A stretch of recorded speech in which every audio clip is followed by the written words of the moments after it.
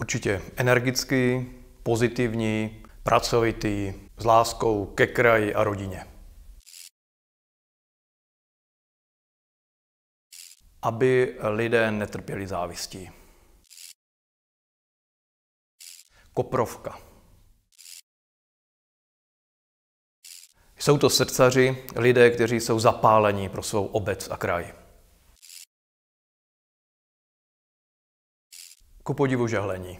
Se sklenkou dobrého, bílého, rulanského šedého.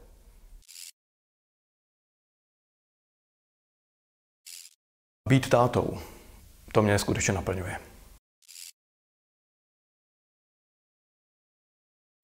Osvědčil jsem se jako starosta za 15 let ve svém Kijově a také jako předseda Svazu měst a obcí naší země.